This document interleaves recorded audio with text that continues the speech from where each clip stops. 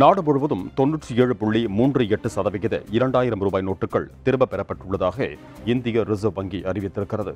கடந்த இரண்டாயிரத்து பதினாறாம் ஆண்டு பண மதிப்பிழப்பு நடவடிக்கை அமல்படுத்தப்பட்ட பிறகு புதிய ஐநூறு மற்றும் இரண்டாயிரம் ரூபாய் நோட்டுகளை மத்திய அரசு அறிமுகப்படுத்தியது. தொடர்ந்து இரண்டாயிரம் ரூபாய் நோட்டுகளை திரும்பப் பெறுவதாக கடந்த ஆண்டு மே மாதம் இந்திய ரிசர்வ் வங்கி அறிவித்தது. செப்டம்பர் முப்பதாம் தேதிக்குள் நோட்டுகள் திரும்பப் பெறப்படும் என தெரிவிக்கப்பட்ட நிலையில் கால அவகாசம் நீட்டிக்கப்பட்டது. இந்நிலையில் மே பத்தொன்பதாம் தேதி மூன்று லட்சத்து ஐம்பத்தாறாயிரம் கோடி ரூபாய் மதிப்பிலான இரண்டாயிரம் ரூபாய் நோட்டுகள் புழக்கத்தில் இருந்ததாகவும் டிசம்பர் இருபத்தொன்பதாம் தேதி ஒன்பதாயிரத்து முன்னூற்று முப்பது கோடி ரூபாய் மட்டுமே புழக்கத்தில் இருந்ததாகவும் அறிவிக்கப்பட்டுள்ளது.